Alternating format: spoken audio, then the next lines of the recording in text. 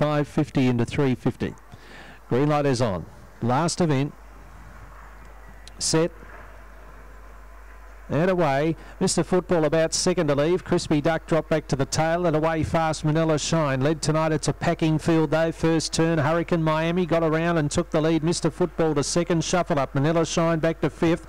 Going through there was uh, Crispy Duck and also Earn the Fizz well back in the race. Iron Gate and Mama's Beard, a turn. It's off the track, Mr. Football. Coming through late was Crispy Duck. Mr. Football beats Crispy Duck and Hurricane Miami the middle. About four away, maybe Iron Gate a lip in front of uh, Earn the Fizz. Mama's Bear well back and back with it to Manila Shine towards the rear. 23 and 16 the run. Mr. Football, the Omen bet gets up at three even and 140 in the lucky last. Coming through late on the inside was Crispy Duck. There's plenty of room for it. I think it might just get second over uh, Hurricane Miami. But that's uh, fairly close. Two and a photo in the last winner at about three even and 140. Three has run second. Eight is third. Six is fourth. Two, three, eight, six in the last. Two, three, eight, six.